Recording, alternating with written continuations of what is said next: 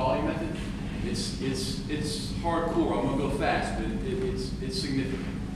It's called competitive positioning.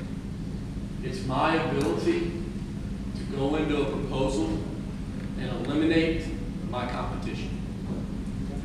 Salespeople for 50 years, since the Industrial Revolution, so almost 100 years, the first almost 100 years of post-industrial revolution selling, selling was unilateral. Can I borrow you for a second?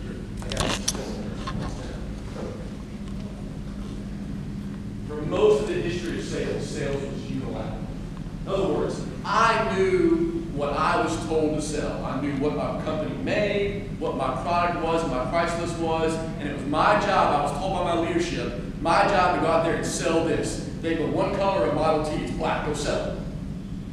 Sell the product you've been given. So I went to you as the customer, for the customer, and I would force upon you what I had to sell because my only concern was the product and the price and the process that I was told to sell. Does that make sense?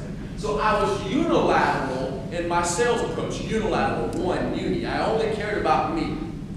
Now, sales, due to competition, began to evolve. So what you saw with the 60s, 70s, 80s, is sales became more bilateral. Meaning I still cared about what my product, process, and price was.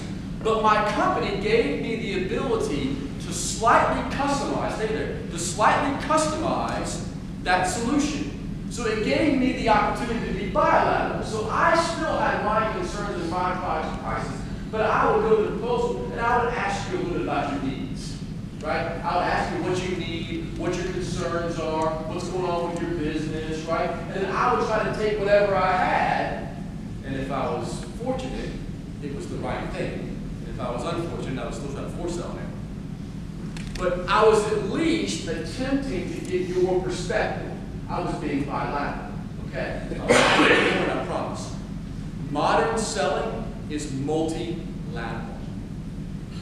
Modern selling is I understand deeply my products and services. I can ask the right questions, do the right research, spend time with you, and get a, a true understanding of what your conditions are, not how's your business, but really understand what you're going through, your circumstances, your, your, your conditions, what you're fighting, failing, facing, feeling. I can really get that from you. That's bilateral.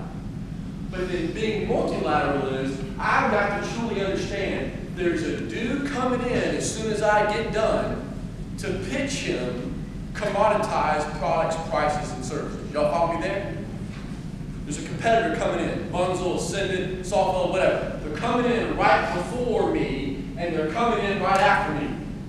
Being multilateral means I have the ability to understand what they're going to say before me and after me, and I adjust my proposal so that I competitively eliminate them. I know this dude is going to talk about price because his price is better than me. I know this dude is going to talk about service because he thinks his service is better than me. Being multilateral is I'm not prepared for a proposal until I understand what my objectives and needs are, what your objectives and needs are, and then what my two or three or 30 competitors are going to say.